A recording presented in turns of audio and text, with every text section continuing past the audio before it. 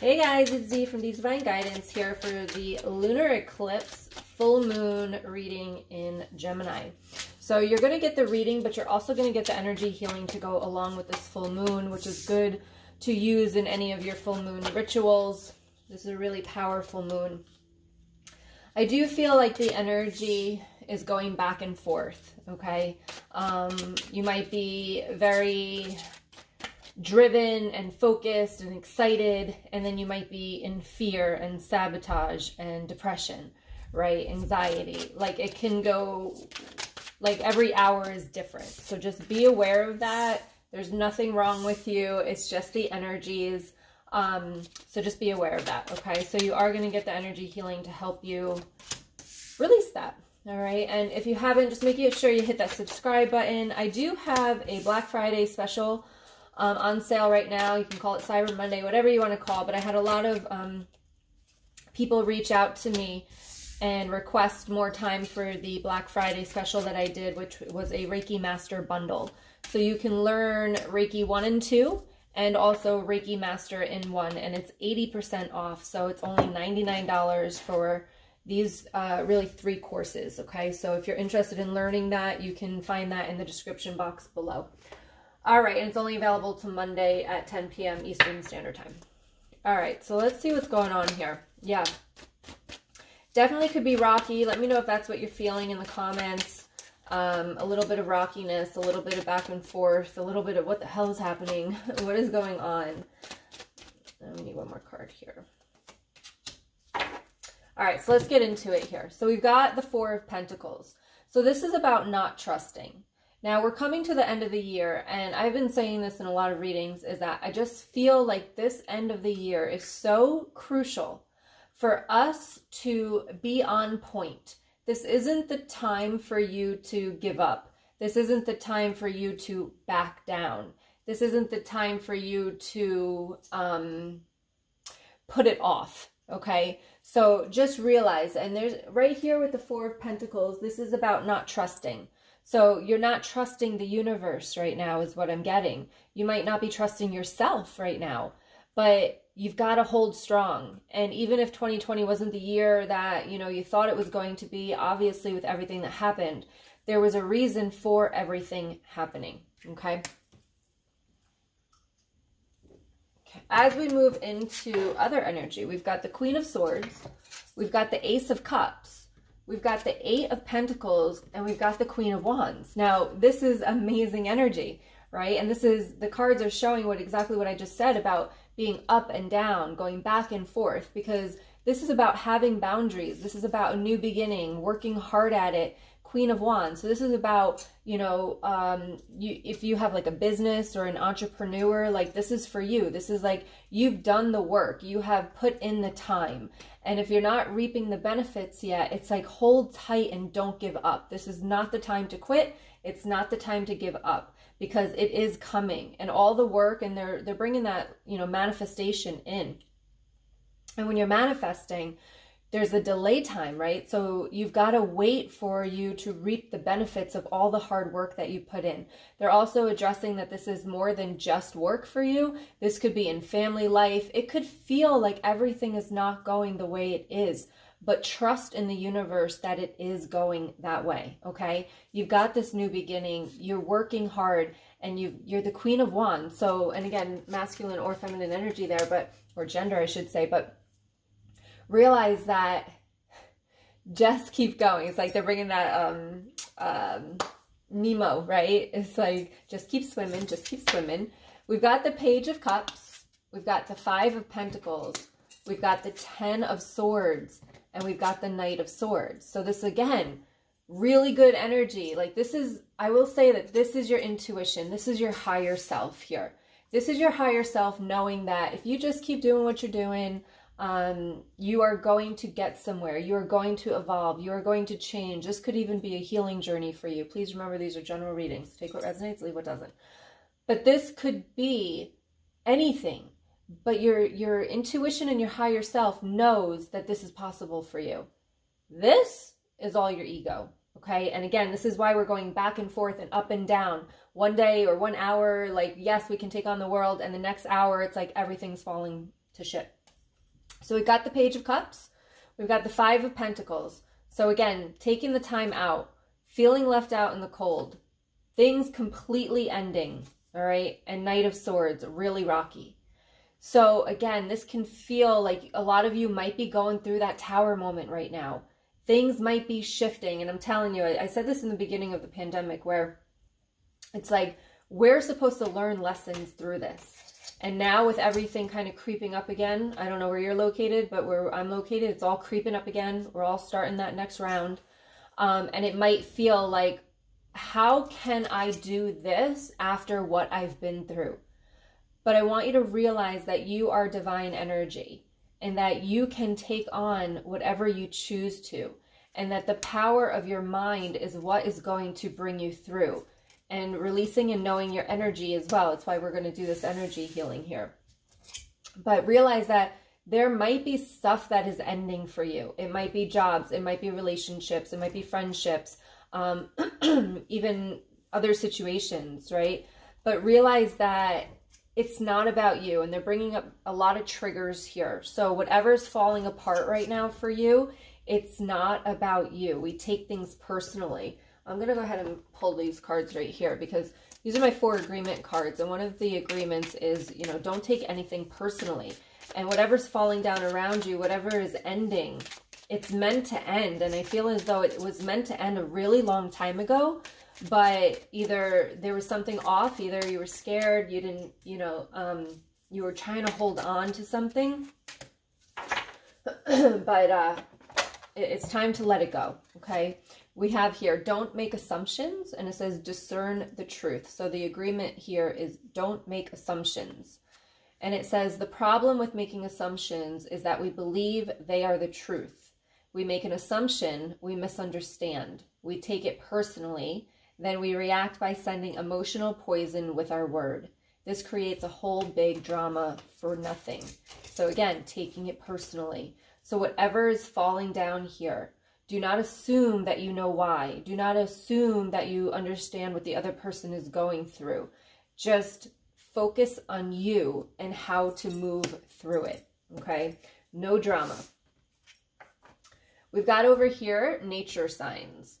So be receptive to the subtle messages from nature as you go about your day. Nature talks to us continually. We need only open our hearts and our minds.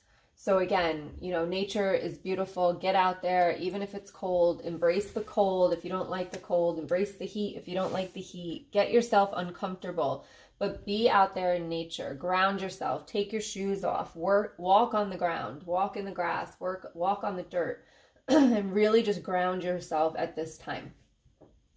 We also have, excuse me, we also have solitude. Think of being alone as meaning you are all one and in total harmony with everything. The greatest treasures are those that wait silently during your quiet times. So if you guys haven't seen it, I did a talk with um, Avaiya on Avaiya University about loneliness and depression.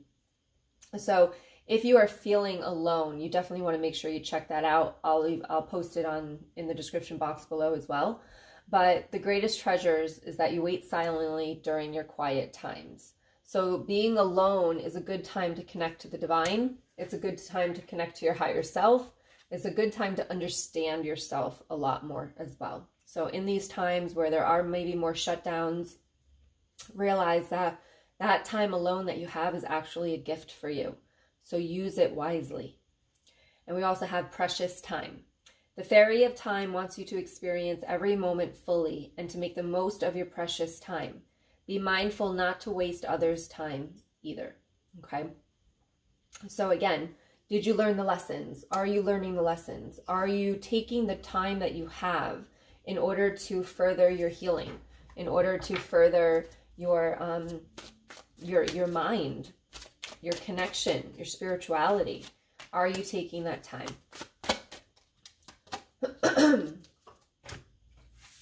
Okay. So we have the Eight of Coins, which is talent and skills. So this is about you understanding that, you know, you have this ability to get yourself through this. You have the ability to go after what you want. It's the ego that's holding you back from doing it. Your consciousness, your higher self knows where you can go because she's already there, right? But it's all this BS that you've been through in the past. This is that childhood stuff that I talk about a lot. This is all holding you back. It's not trusting yourself because of maybe times that you have failed in the past. But you need to trust yourself and you need to go after what you are feeling called to do. Okay, whatever that may be for you. And this came up reversed. So I'm going to leave it reversed, but this is the Two of Swords and it says balanced, restored, or resolution. So again, with this full moon lunar eclipse energy, it is shaking it up. It is really shaking you up. Um, especially if you haven't learned those lessons, especially if you are unaware and you're living with your eyes closed as to really what's going on underneath the surface of your emotions. This is shaking it up for you here. And this is allowing things to come up so that they can be released. And again, like I said, we're going to do some energy healing in one minute. All right, let's see what questions we need to ask ourselves during this lunar eclipse. And please remember, and they're actually telling me that the energies for this moon is going to be a little bit longer. So not just the three days prior and three days after, but I'm hearing the, the number five. So definitely if you're seeing this video or any other videos, or even if you're not seeing videos, um, definitely five days before and five days after, you can definitely use this healing and also these messages with the energy of this moon.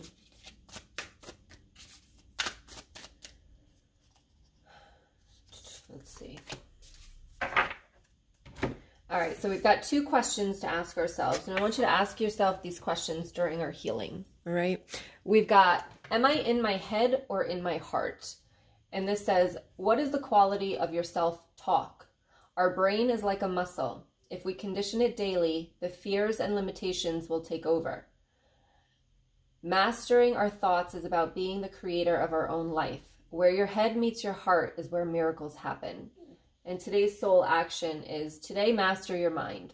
Watch an inspiring video, do some tapping, read an empowering book, or write out all the reasons why you believe in yourself and your dreams. So Spirit is really confirming this, is really kind of pushing it hard with you guys here, is to get out of your head. Get out of your head and into your heart, but also get out of your head and into your higher self. All right. There's so much more that you are able to do. I don't care where you are in life. I don't care how much money you have, where you live. Like, it doesn't matter. It is in your mind that creates your reality. And I, I see this time and time again. Am I afraid to be seen? Is the other question you want to ask yourself. The world doesn't want you to hold back any longer. Time to shine your unique light on the world. You were made from love, and from love you are whole. There is no more hiding. There is no more shame. There is only truth. Live naked and free. Today's soul action is what parts of me do I hide so I can be socially accepted and fit in? Am I being authentic? Do I allow myself to be all of me? What do I need to feel so I can be safe to be seen? Journal your answers. So definitely go back and rewatch that and journal that after this, okay?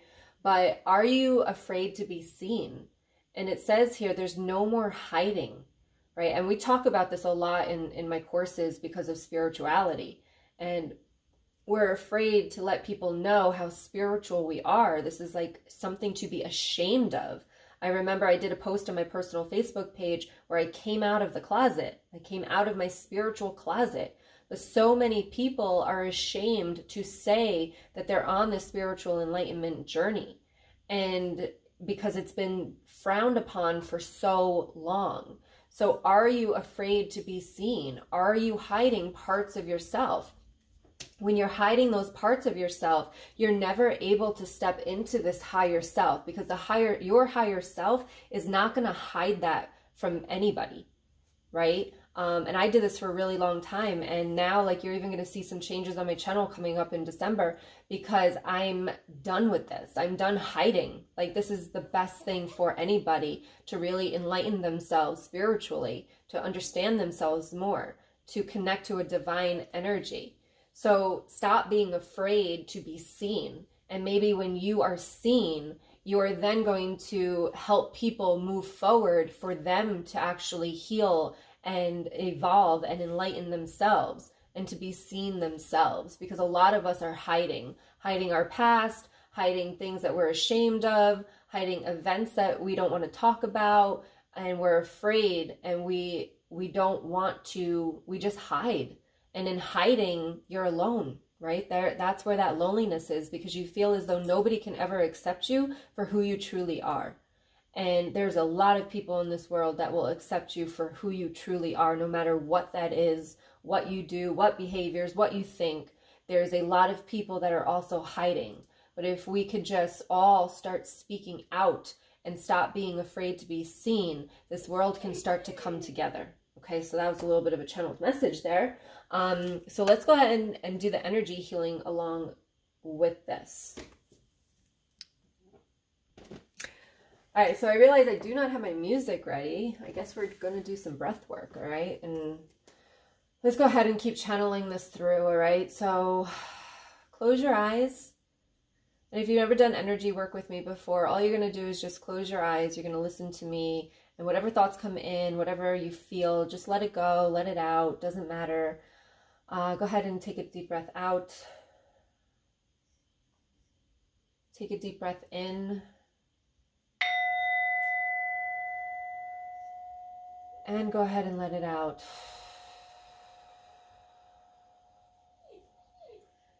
And one more time, take a deep breath in.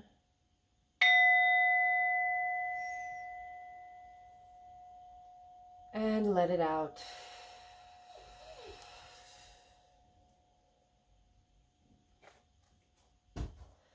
And one more time, take a deep breath in. We're going to call your spirit guides to be with you here to help you release the fears. Release the fears. Go ahead and let that out.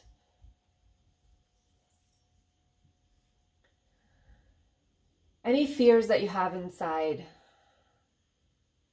they are there to keep you safe. You don't need that safety anymore. When you believe in the universe and you trust in the universe and you trust in yourself and you trust in your spirit guides, just keep breathing in and out. Your fears are your safety net. But with everything that you've been through and how strong you really are, there's no need for that safety net anymore. You can let those fears go. And you can start to follow your intuition more. Deep breath in there, please. And let that out. Everything that you have believed up until now, everything that you think you are or are not, is not the truth. You know the truth. But sometimes it's hard to see, and sometimes it's hard to believe. Divine energy is running through you. We are all made in the same place. We all have the same energy. Take a deep breath there.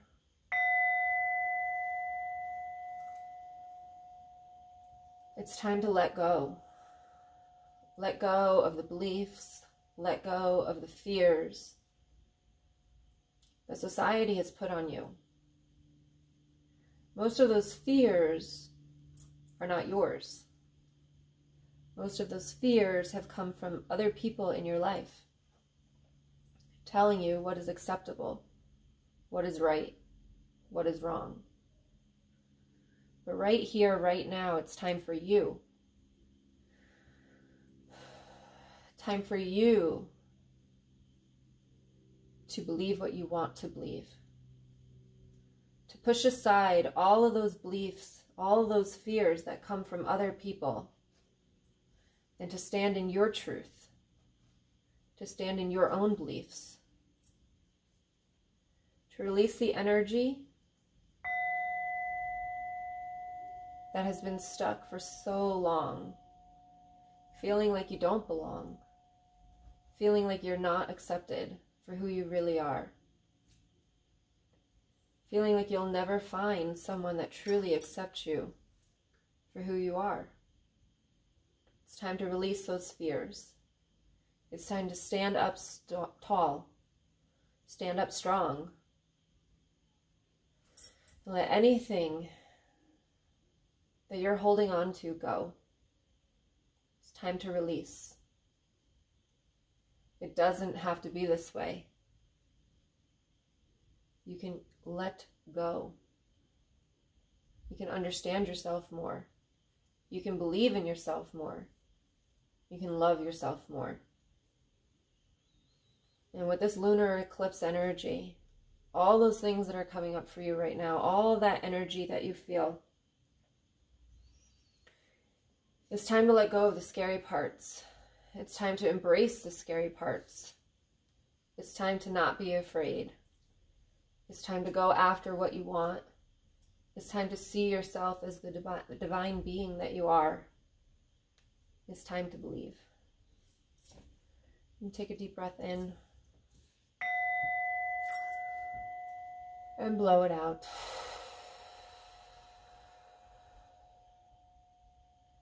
And take another deep breath in.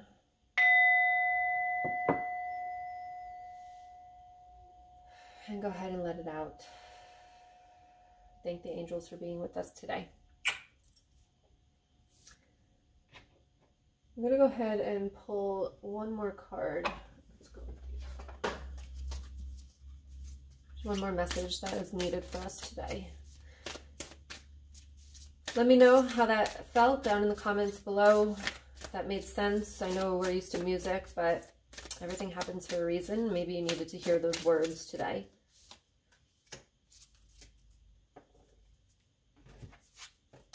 And we got demonstrate love. Find out what is important to the people you love and act on it. Now, I challenge you to take this back to yourself. Because most of the times when we ask ourselves, who do we love? We're not on that list. So find out what is important to you. Find out what your beliefs are.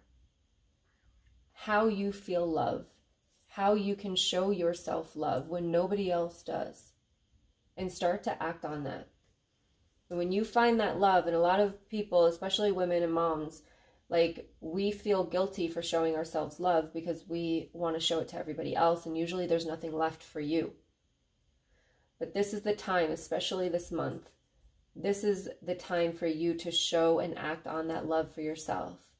And you will see that when you find that love within you, then everyone else around you will feel even more love from you because you're coming from a different place. You're coming from a different energy. So act on that love for yourself.